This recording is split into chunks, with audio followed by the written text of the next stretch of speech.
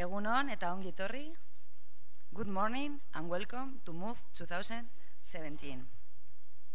Para inaugurar la conferencia, tengo el honor de presentarles a don Manu Ayerdi, vicepresidente de Desarrollo Económico del Gobierno de Navarra.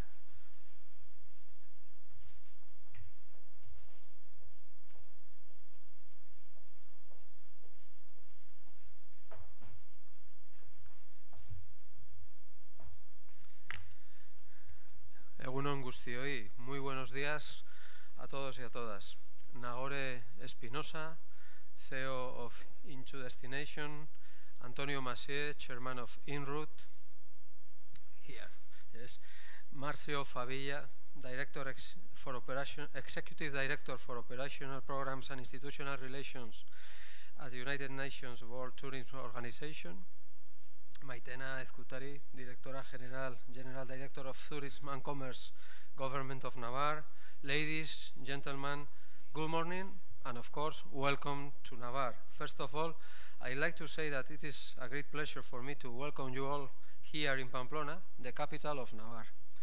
A special thanks to everyone who helped and contributed to making this conference a fabulous success. It is a big honor for Navarre to organize the fifth international conference of the Subnational Measurement and Economic Analy Analysis of Tourism during the next three days in order to discuss current trends in sustainable tourism in urban and rural destinations. You will have the chance of listening, exploring, meeting, networking, and getting to know how to better measure, hence manage a rapidly evolving tourism sector. That's why I'd like to express my gratitude to you all for having come to Navarre to share your experiences. Let me tell you about a few key facts of Navarre. Navarre covers 10,391 square kilometers and has a population of almost 650,000 inhabitants. Half of the population is concentrated here in the capital, Pamplona and surroundings. Navarra is a small region within Spain but it is one of the most economically advanced. Navarra ranks in top positions in all national indicators of economic development, innovation, education, quality of life, etc. Furthermore, Navarra benefits from some economic autonomy and has its own taxation, taxation system and its own legal system in many areas. This is because Navarra has been an independent kingdom for almost a thousand years and has retained many of its ancient laws si since the 16th century. Navarra is one of the Spanish regions with the best national indicators in terms also of social welfare, access to services, and standard of living. Capital city Pamplona ranks first as preferred Spanish city to live in. With a Gini index of 28 and a Human Development Index of 0.97, Navarra is one of the regions with the highest standard of, li of living worldwide. It has a well-developed road network. It is located on the frontier with France to the north, and it is crossed by several motorways that afford easy access with the rest of Spain and Europe. Particularly important is the crossing of two major Spanish axes, north-south, linking Paris Paris to Madrid, and east-west, linking Bilbao and Barcelona. There are five daily flights to Madrid airport from Pamplona with flight times of less than an hour to connect with major international destinations. And from November the 6th, yesterday, more or less, Lufthansa flies from Pamplona to Frankfurt with many connections, of course, to rest of Europe and all the world. Driven more or less an hour, a bit of more than an hour, I would say, there is the airport of Biarritz also connecting to Paris and London. By train, the high-speed Alvia train, Alvia train links Pamplona to Madrid in three hours, and to Barcelona also in four hours. GDP per capita of Navarra is one of the highest in Spain. Last year, 2016, nearly 30,000 euros per capita. Also, we maintain a higher standard and poor's credit rating than Spain as a whole. This is a bit curious, but it's like, like, like that. Our population has one of the highest level of education also in Spain. According to European data, Navarra is, is ranked 19 out of 271 European regions with the most highly qualified personnel in science and technology, and the first one in Spain. We have one of the lowest unemployment rate in Spain, with a rate of 10.5% by the end of October, in contrast to the national average of 16.4%. Navarra is in, finally the Spanish region where industry accounts for the highest percentage of its regional GDP. Our economic structure presents a remarkable specialization in the industrial sector. Proof of this is the significant weight involving goods and automotive industry in our economy. In this regard, I need to emphasize that last year we, laun we launched the new Smart Spe Specialization Strategy of Navarra. Smart Specialization strategies are integrated seat-based economic transformation agendas that focus policy support and investments on key regional priorities, challenges and needs for knowledge-based development. In order to do so, the strategy requires a shared vision of the future to be reached and the identification of thematic priorities that include economic, scientific, and technological potential and global competitiveness of the territory and of its stakeholders, especially in this case, companies. Finally, the strategy pushes, pushes the use of smart policies focusing on these priorities to maximize the potential for regional development to progress towards a knowledge-based economy. Navarra focuses in six economic areas, automotive and mechatronics, food chain, renewable energy, health, creative and digital industries, and also, but not less important, tourism. These smart specialization strategies develop a vision for the future. The vision of Navarra 2030 is as follows. We are committed to a social and territorial cohesion in Navarra, open and interconnected, made up of creative and entrepreneurial people engaged in a modern and competitive economy. An economy that should stand out for its industrial strength, its commitment to the environment, health and quality of life, based on transparency and trust, in order to become a benchmark for sustainable development. This is our vision. Although tourism is not an, an industrial or a sports sector in the strict sense of the term, it provides benefits in terms of territorial cohesion and social development and brings about the entry of exterior resources that improve also the regional trade balance. This, this sector is notable for being one of the most important of many regions and is linked to indirect benefits of conservation of the natural and cultural heritage. Therefore, in tourism, our aim is to promote Navarre as a unique destination, committed to integrated tourism based on its natural, cultural, gastronomic, and social strengths, to make it a motor for balanced territorial development and international opening of the region.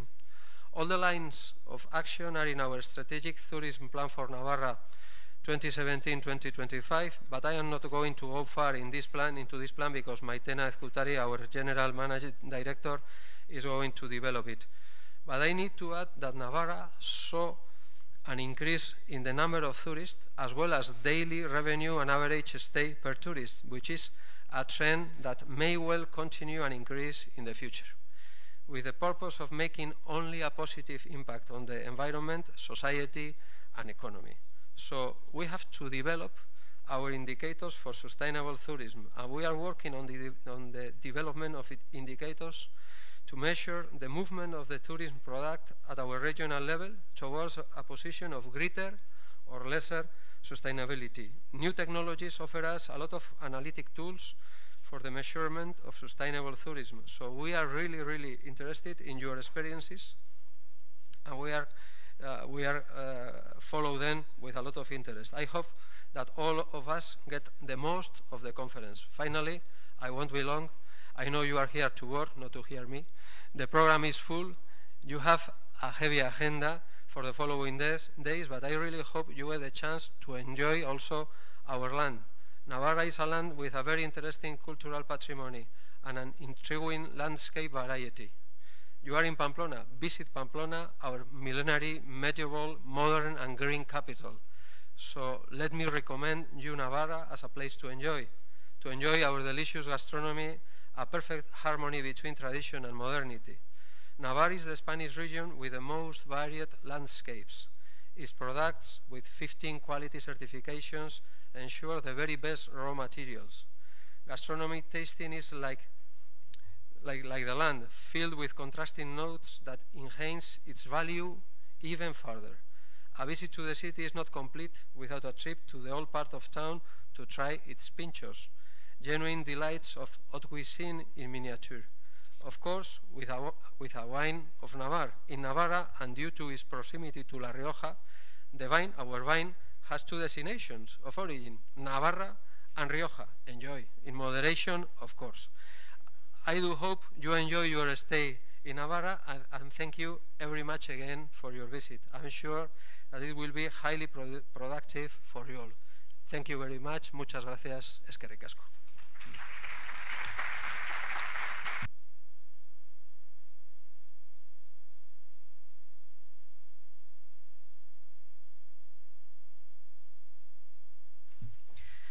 Muchas gracias, vicepresidente. Ahora, a continuación, para darles la bienvenida, contamos con la presencia de doña Maitena Ezcutari, directora general de Turismo y Comercio de Gobierno de Navarra, con don Marcio Favila, director ejecutivo de Programas Operativos y Relaciones Internacionales de la Organización Mundial del Turismo de Naciones Unidas, con don Antonio Masieu, presidente de INRAU, y con Agor Espinosa, in2destination. Well, ladies and gentlemen, um, thank you so much for making the time in your hectic agendas to attend MOVE 2017. Uh, dear Mr. Ayerdi and Mrs. Skutari, thank you so much for making this fifth edition of MOVE 2017 possible. Um, thank you for your team for entrusting us um, the designing of the agenda and leading the scientific committee. We'll be looking forward to receive your feedback once these three days have gone by.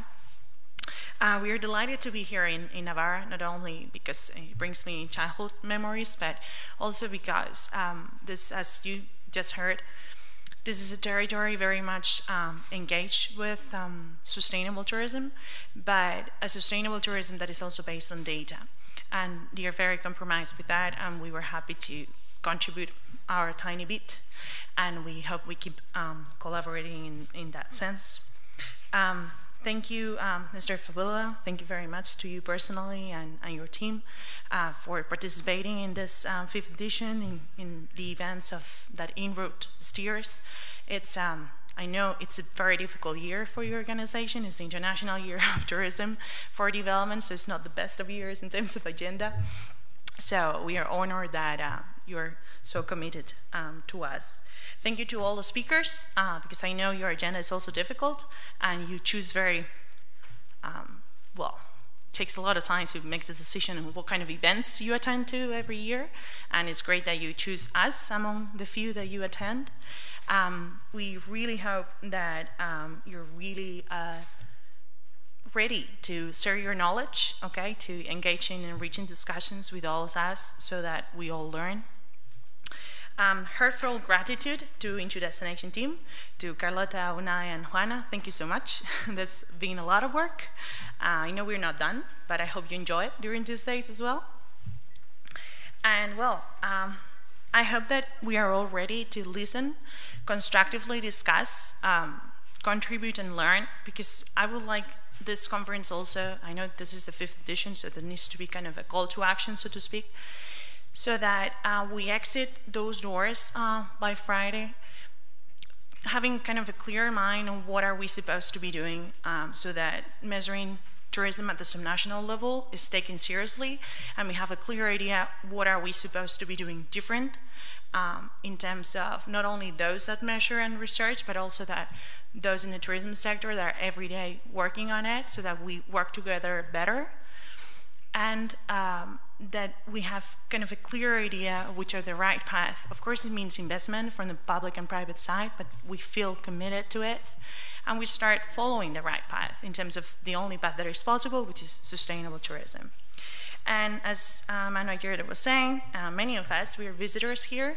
So as the UN UNWTO campaign says, travel, enjoy, respect, then enjoy and respect Pamplona and Navarra and hope you have a great time, not only exploring Pamplona, but also perhaps you have the time to spend the weekend over here and enjoy some of what Navarra has to offer.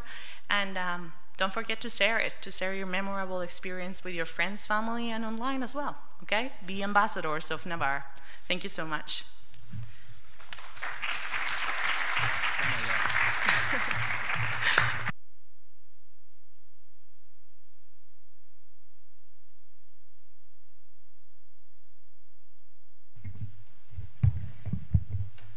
Buenos días a todos. Y aparte de que creo que no se trata de repetir todos los agradecimientos que Nagore ha expresado, que yo creo que tengo que hacer los míos porque además estamos muy agradecidos al Gobierno de Navarra por esta oportunidad, pero también agradecerles a ustedes que estén aquí.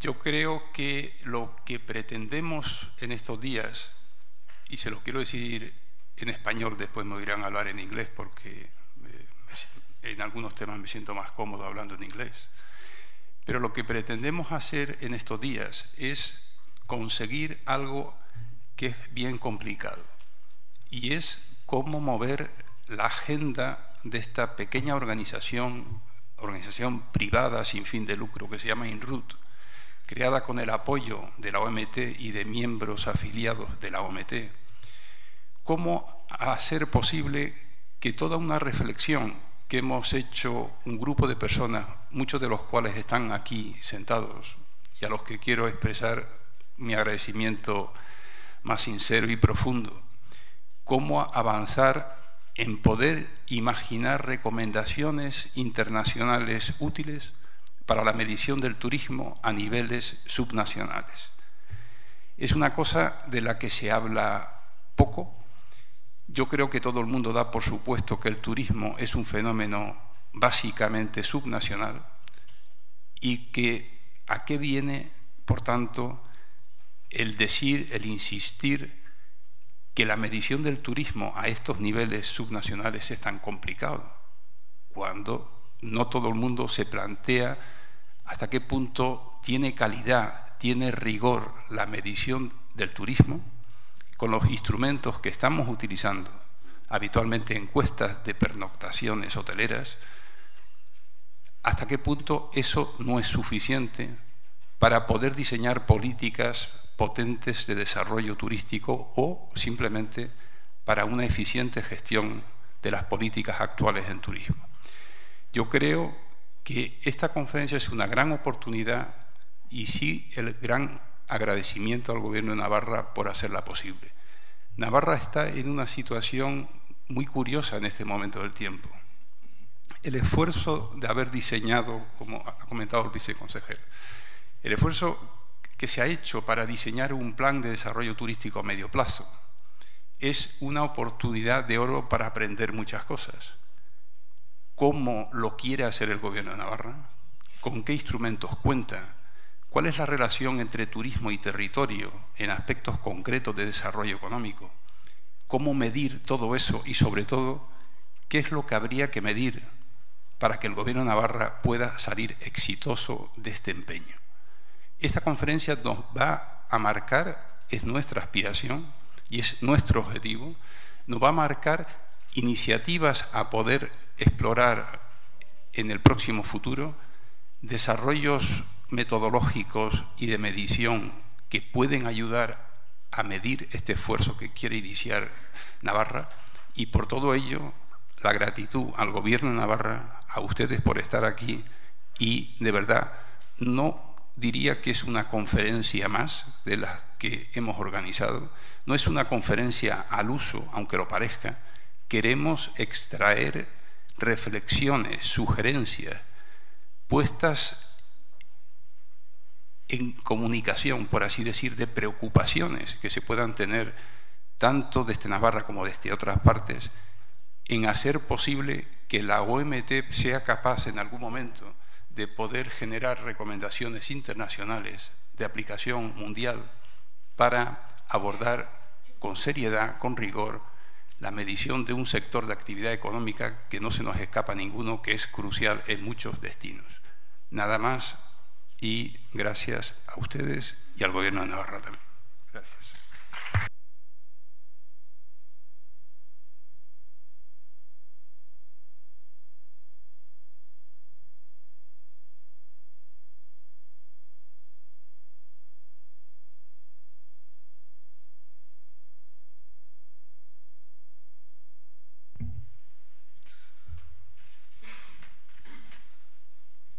Good morning, senhora Maitena Ezkutari, diretora de Turismo do Governo de Navarra, senhor Antônio Massieu, grande amigo, presidente de INRouTe, e senhora Nagore Espinosa, CEO de in2destination. Distinguished uh, panelists, uh, ladies and gentlemen, I'm very, very pleased to be here with you today at the kind invitation of INRouTe and the government of Navarra for the fifth edition of the International Conference on Subnational Measurement and Economic Analysis of Tourism in the beautiful, really beautiful city of Pamplona. Thank you very, very much for your warm hospitality. As you know, last year, one uh, billion and 235 million travelers crossed international borders. This means that one in every six people of the world is making an international trip for leisure, visiting friends or relatives, or for business purposes, thus benefiting economies and societies globally. By 2030, these 1.2 billion arrivals will become 1.8 billion international arrivals besides the many, many more billion domestic tourism trips that already take place every year.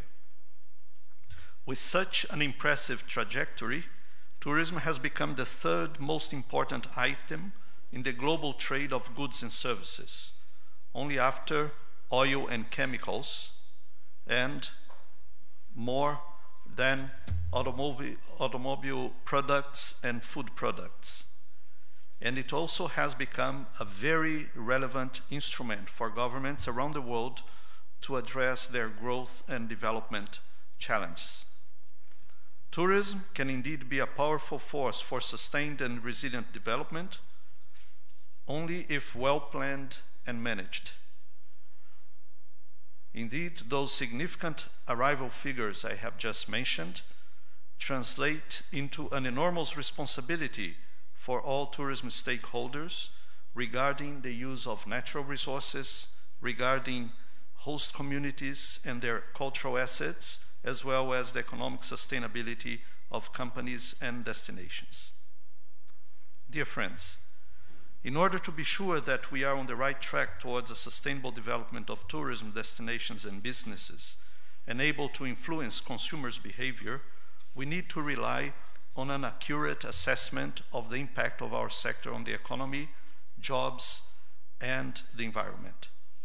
What we cannot measure accurately and regularly, we won't succeed to, me, to manage. We need to measure our impact if we want to effectively and efficiently face some of the most pressing challenges of nowadays, such as climate change, seasonality, carrying capacity, congestion management, as well as the potential negative impact on the social fabric that tourism may bring about. As we all know, the achievement of the targets of the 17 Sustainable Development Goals must be measured by statistically based indicators. And UNWTO is custodian of three indicators, those related to tourism in SDG 8 and SDG 12 which are about economic growth, the creation of decent jobs, and sustainable consumption and production patterns. Sound measurement will only be possible if we use the right frameworks. The UNWTO International Recommendations on Tourism Statistics and the Tourism Satellite Account have an economic focus, as you know. This is why UNWTO has recently launched, with the support of the UN Statistics Division, the presence with the presence of many of you, the initiative we called towards a statistical framework for measuring sustainable tourism, which we hope to present by 2020. This new framework draws from the existing frameworks, including the standards of economic environmental accounting, and should also be able to shelter the tremendous challenge and possibilities opened up by technological advancements and big data. UNWTO indeed considers INRouTe a relevant partner in the path towards measuring sustainability, particularly at the subnational level. We have recently renewed, and I'm very happy for that, we have recently renewed our Memorandum of Understanding in order to keep collaborating towards spreading the message across the world so that many more territories at subnational levels start measuring their progress and drawbacks in sustainable tourism development so that well-founded and advised decisions can be taken. I take the opportunity to thank all of you who have joined the effort of INRouTe to contribute uh, with our work at UNWTO. This year, MOVE 2017 addresses not only urban but also rural tourism. And this is a critical issue for our sector. Again, if well planned and managed, tourism can help distribute economic development beyond urban areas and at the same time contribute to raise visitors' awareness of delightful gastronomic experiences, singular cultural identities, breathtaking natural scenery, just as what Navarra has to offer to its residents and visitors. Let's do what uh, um, the counselor, the vice president of economic uh, development, has advised us to go out, meet the people, enjoy the food, taste and enjoy the wine moderately but intensively, right? I'm very pleased to be in Pamplona, not only for the MOVE 2017 conference, but also because UNWTO and the government of Navarra are working on an agreement to strengthen tourism development in this comunidad, help generate more jobs and foster sustainable tourism. Dear friends, we are approaching the end of the International Year of Sustainable Tourism for Development. A great year for us. As you may know, the first time and last time there was an International Year of Tourism was in 1967, 50 years ago. 50 years ago. In 2002, we had the International Year of Ecotourism, but an International Year of Tourism overall, as declared by the UN, was 50 years ago. So it does not happen every year. I hope to be around next time we have an International Year again, of course, but we have done a lot, we have tried to do a lot this year uh, in order to bring the message and the challenge of uh, sustainable tourism. Uh, our challenge, I think, of all tourism stakeholders is to make this year uh, a platform towards 2030, along with the uh, 2030 agenda and the SDGs. Let's not consider that International Year finishes with the Gregorian calendar on the 31st of December, but let's use this opportunity to continue working with it. At UNWTO, we are uh, uh, doing lots of activities, but also uh, we, are, we have embarked in research on uh, the different objectives, different aspects of the International Year, in which uh, we are going, which we are going to be uh, publishing in the months to come. I would also like to mention to you that uh, if you go into our website in the part of the International Year, you can register all your initiatives related to the objectives of the International Year there. So far, uh, we have, well, until last Friday, we had uh, 642 different initiatives, uh, events, research activities, uh, capacity building uh, projects. So if you have done anything this year, or you are going to do, you, are, you have started something that can be related to the objectives of the International Year, please uh, register that in our website because uh, we want to inform that to the UN General Assembly uh, in our report uh, next year. So, as we are approaching the end of this International Year, um, according to the calendar, the message and actions geared towards improving sustainability in all its dimensions will certainly go beyond uh, December thir uh, 31st. During this year at UNWTO, we have been building capacity, raising awareness, fostering knowledge, and enhancing effectiveness of tourism's role in five critical areas of sustainable development. One is inclusive and sustainable economic growth. Two, social inclusiveness, employment, and poverty reduction. Three, resource efficiency, environmental protection, and climate change. Four, cultural values, diversity, and heritage. And five, mutual understanding, peace, and security. The International Year established a global commitment to the sustainable growth of our sector worldwide, and most importantly, its contribution to address the common challenges and policy imperatives set forth in the 2030 Global Development Agenda to benefit to the benefit of the people and of our planet. So I'm looking forward to following up uh, your discussions today and the conclusions uh, that you bring in the days to come. So thank you very much. Have good work here enjoy Pamplona, enjoy Navarra. Muchísimas gracias.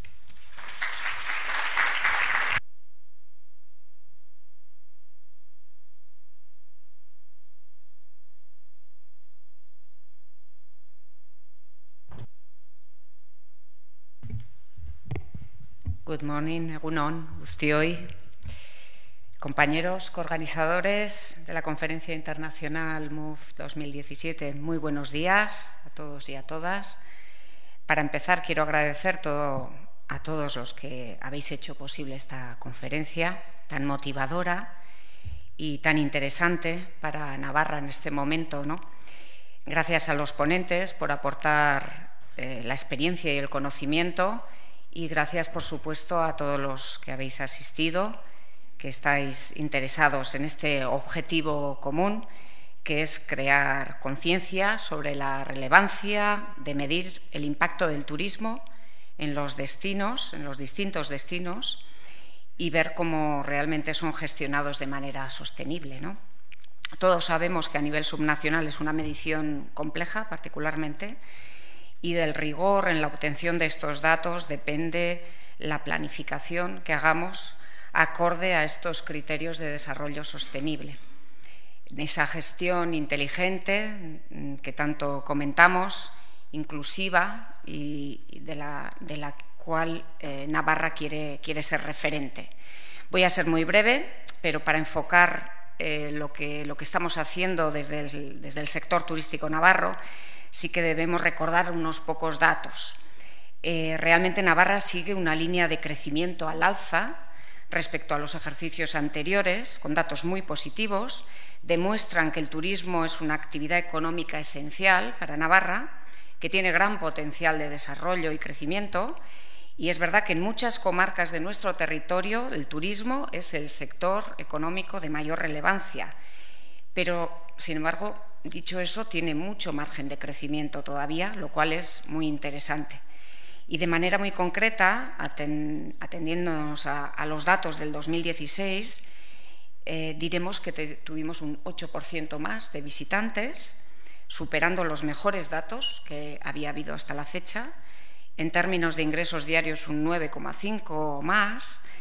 Es un mercado, eso sí, que prevalece el turismo de proximidad y de estancias cortas.